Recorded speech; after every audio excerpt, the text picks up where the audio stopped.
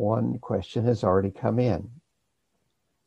I was thinking about the story of Gotama's pre Buddha life. Something in this story struck me I hadn't really considered before. Gotama goes to two meditation teachers and learns deep concentration states, but conclude that this is not the path to awakening, so goes off to try something else. After experiencing with asceticism, he has a spontaneous memory of doing something, doing deep concentration as a child. I wouldn't call it a spontaneous memory.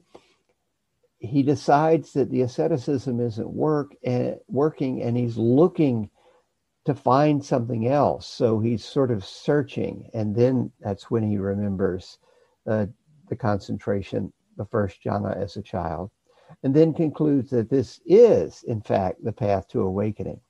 What changed? I think what changed was he realized that the jhanas were not the end of the path, which is what his two teachers apparently were teaching. Yeah, you get to seventh jhana, the realm of no thingness, and yeah, it's done. No dukkha there. Of course, he's like, yeah, man, but when you come out, there's still dukkha. This ain't working. Same thing with the second teacher in the eighth jhana. Now, when he thinks back, all right, these jhanas aren't involved with sensuality, so I don't need to be afraid of the pleasure of the first jhana. But could they be used in another way, not as the goal of practice, but as simply a means to arrive at the goal of practice?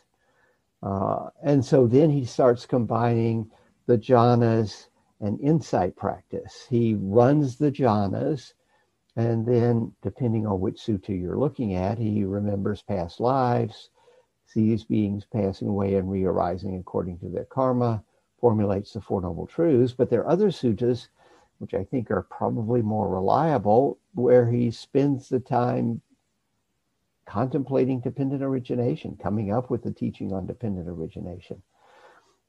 So I think it was this breakthrough to realize that the jhanas are preliminary practice, not the goal of practice.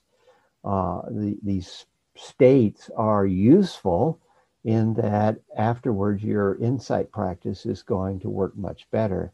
But yeah, not the goal of practice. As an aside, I also found it interesting that in Majjhima 26, where the part of the story is about how Gautama found the arupas unsatisfactory, the specific practice that the Buddha recommends at the end of the sutta is actually to go through the jhanas and the arupas all the way to cessation of feeling and perception. Then, on that basis, destroying the taints, the asavas, through wisdom.